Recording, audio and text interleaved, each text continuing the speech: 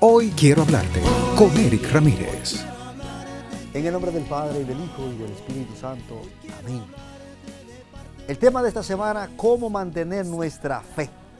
Siempre me gusta eh, como, como llevar estas interrogantes a aquellos que me escuchan, que me siguen.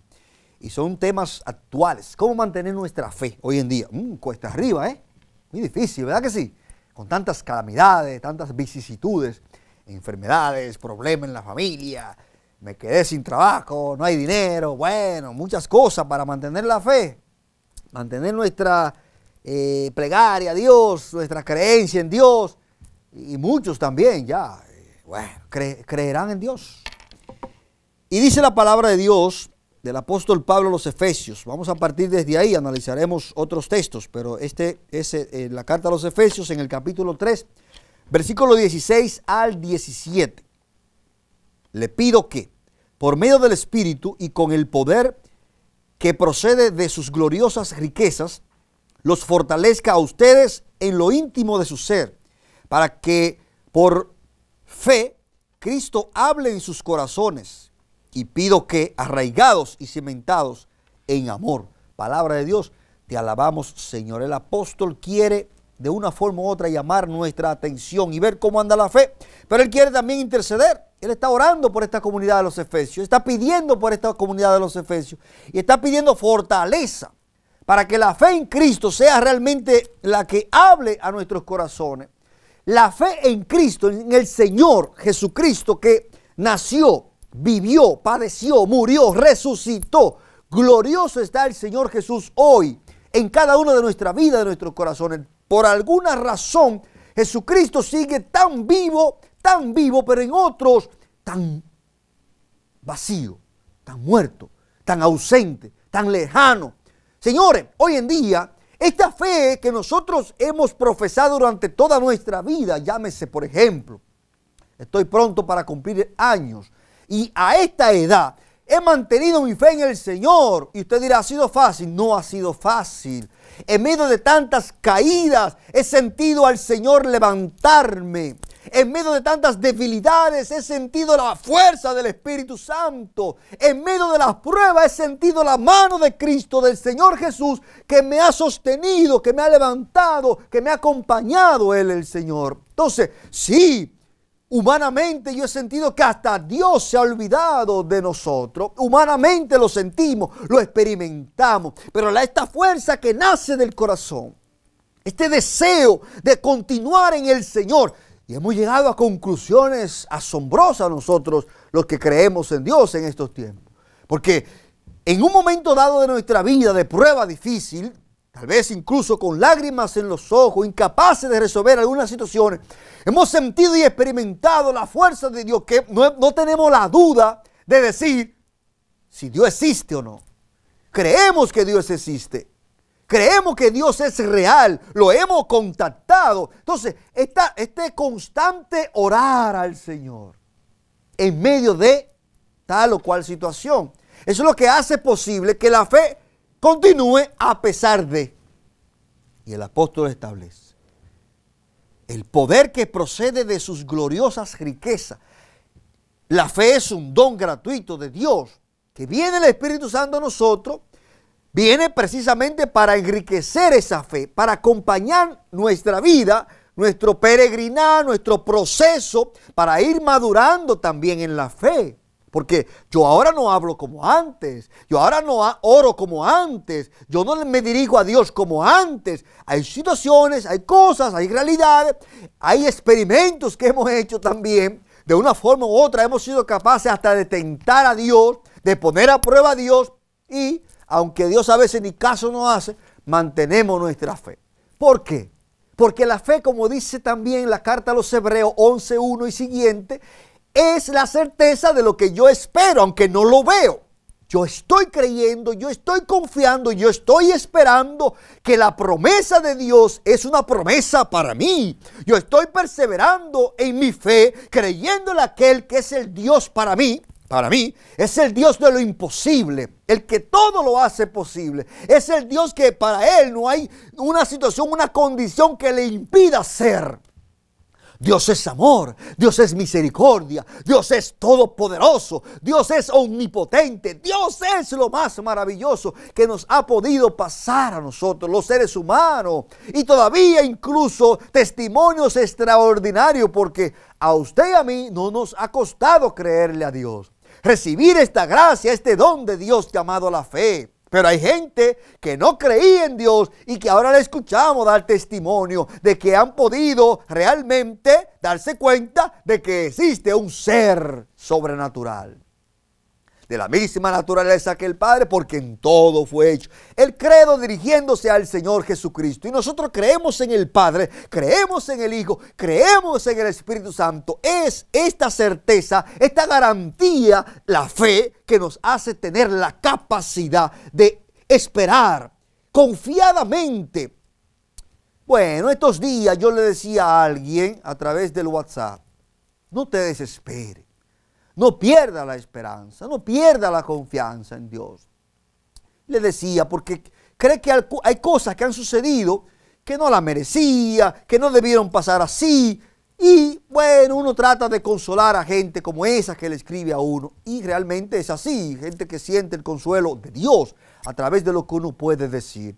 Pero si uno no experimenta estas cosas, dice, ah, tú sí te quejas, ah, tú... No, la situación que yo tengo, que usted tiene, se debe respetar.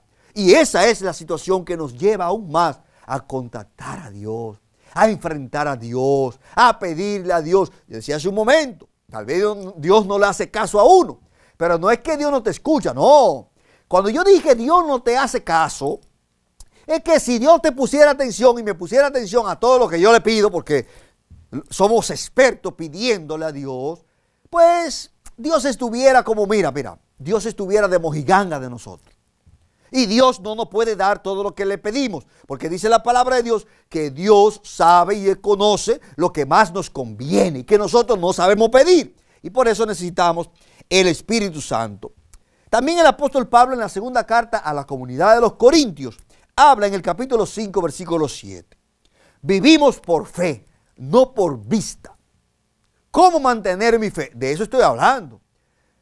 Fíjate que antes, cuando yo me iniciaba en estos caminos del Señor para evangelizar públicamente, para hablar de Dios, para predicar la palabra de Dios, yo veía que la gente quería ver, quería ver que el sol danzaba. Cuando yo comencé en La Vega era muy popular escuchar a la gente que el sol danzaba, que, bueno, mucha gente que se mareaba, que veía que el sol danzaba. Porque si tú te pones a mirar el sol mucho tiempo, fácilmente, pues ve cosas que no están ahí. Y cuando yo comencé, eso es lo que sucedía. Entonces, la gente se acostumbró en ese momento, en mi momento, cuando yo comencé en la iglesia a ver cosas y a experimentar cosas diferentes, a ver milagros. Y que si se para un paralítico, y que si a aquel se le quitó tal enfermedad, etcétera, etcétera, etcétera. Para mí lo más asombroso es que después de más de 20 años sirviendo en la iglesia, podamos ver todavía a esa gente que ya ahora no está buscando ver, sino creerle a Dios. Entonces, hemos cambiado porque no éramos tan maduros. Por eso es que la fe se debe ir fortaleciendo con el día a día, con lo que traiga la vida, con lo que traiga la vida. Es así que suena y así que tiene que ser. Bueno, llegó la salud. Gracias, Señor. Llegó la enfermedad. A pedir por la salud y a darle gracias también, porque no sabemos, no, no, en momentos difíciles es difícil también decirle a Dios gracias porque me está tragando, eh, me estoy tragando un cable, porque tengo la soga al cuello, es difícil, pero hay que aprender, porque ahí es que Dios descubre nuestra fe. Pero Dios no necesita poner una prueba, porque eso no así, no. Dios descubre nuestra fe cuando somos agradecidos aún en medio de las situaciones y realidades que consideramos que no son tan buenas. Son buenas. Porque personalmente, en mis situaciones difíciles, yo más me he acercado a Dios. Jamás he intentado alejarme de Él, aún en esos momentos que le he dicho, pero hasta tú te olvidaste de mí. Y he clamado a Él para que me, me quite la soga del cuello. Digo, no es porque he intentado matarme, ni quitarme la vida, ni ahorcarme. No, no, no, no, no. Estoy diciendo de una manera eh, representativa, superficial.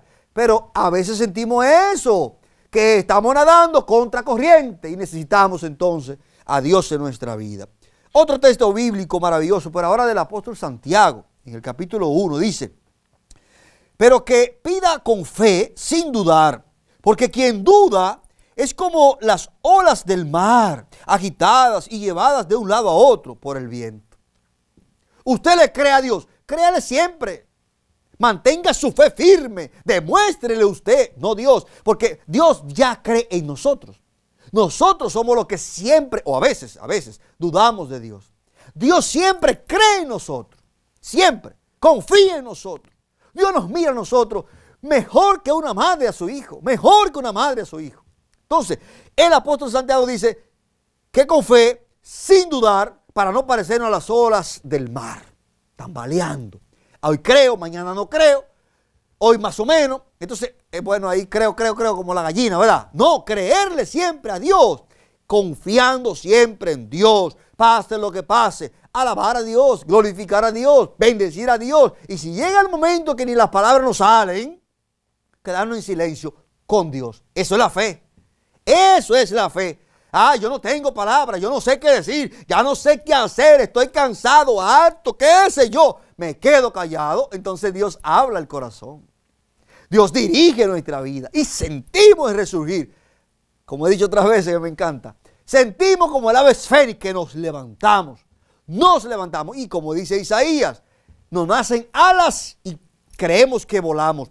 Eso es la fe. Y esta fe entonces escribe Pablo a los romanos en el capítulo 15, que el Dios de la esperanza, fíjate, yo tengo fe en el Dios de la esperanza, yo no pierdo mi esperanza, mi confianza, los llene de toda alegría. El que tiene fe, aunque esté triste, tiene que sentir el gozo de Dios, aunque esté llorando, aunque se esté muriendo, aunque le diga el médico que tiene cáncer, que tiene tal enfermedad terminal, esa persona de fe, cuando escucha esas cosas, dice, ah, tengo la oportunidad de organizar mi vida antes de morirme. Eso es tener fe. Y el que tiene fe, tiene paz. Esta paz, dice, a ustedes que creen en Él, ¿en quién? En el Señor Jesucristo, para que rebosen de esperanza con el poder del Espíritu Santo. Mira, alegría, paz, consuelo, gozo. El Espíritu Santo viene. Diferentes gracias, virtudes son derramadas en nuestra vida por la fe. No es por la duda. Ya te dijo Santiago, como la olas del mar. No, no, no. Creemos firmemente, constantemente, perseverantemente en aquel que sabemos que todo lo puede, dice el apóstol, todo lo puedo en Cristo que me fortalece. Hermano, ¿cómo mantengo mi fe? Hablando con aquel que yo tengo puesta mi fe, mi confianza, mi esperanza. Y yo no quedaré defraudado, dice el salmista, porque yo estoy convencido que en quien he puesto mi esperanza, mi confianza, mi fe, es Dios y que Dios es mi Dios. El Dios de todo, pero yo lo hago mío. Bendito sea el nombre del Señor. En realidad, sin fe es imposible agradar a Dios, ya que cualquiera que se acerca a Dios tiene que creer que Él existe y que recompensa a quienes lo buscan. Hebreo capítulo 11. Y termino entonces diciendo lo que, o leyendo más bien primero, lo que dice el Evangelio de San Juan, en el capítulo 11, versículo 40. No te dije que si crees verás la gloria de Dios. Le contestó Jesús. Palabra del Señor, gloria a ti, Señor Jesús. No te he dicho que si crees verás la gloria de Dios, hermano. Jesús está ahí para resucitar a su amigo Lázaro. Tiene cuatro días que ya lo pusieron ahí. La gente empieza a decirle que hiede, que la piedra está puesta, que la gente está hablando, que la familia está llorando. La gente mira, nosotros miramos muchas cosas que Dios no mira. Nosotros tenemos limitaciones, pero al que yo le creo y usted le cree, es un Dios ilimitado. Entonces, él que mira esto y le dice a una de las parientes del difunto, y yo no te dije a ti que si tú crees, verás la gloria de. Sí, yo sé, Señor, que en el último día mi, hermana, mi hermano Lázaro va a resucitar. No, no, no.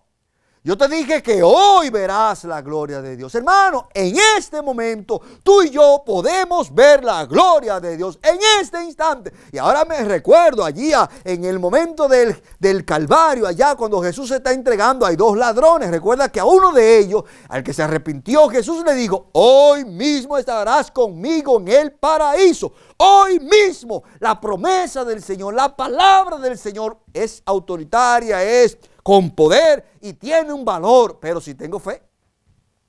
Hoy mismo yo puedo ser sanado, liberado, transformado por la fuerza abrazadora del poder del Espíritu Santo en el nombre de Jesús que envía el Padre a mi vida. Hoy, declárelo, declárelo, créalo, créalo. Porque sin fe ya escuchaste, es imposible agradar a Dios. Para tú agradar a Dios, tiene que tener fe. Pide a Dios la fe. Hay que pedirle a Dios la fe. Como dijo Pedro, Señor, aumenta mi fe. Pedro, oye, Pedro, San Pedro.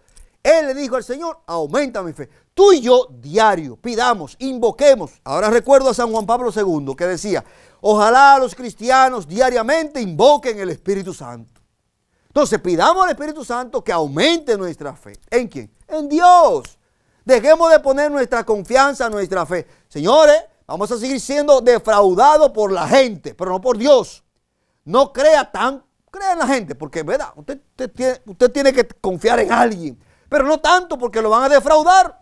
Créale a Dios que jamás lo va a defraudar. Ese es el amigo, el acompañante, ese es el Dios. Y ese Dios que nosotros tenemos es realmente el que nos quiere bendecir, vernos plenamente feliz. Él es el primero que quiere verte feliz. Entonces vamos a seguir creyendo a Dios. Cueste lo que cueste, a creerle a Dios se ha dicho. Ih, o da.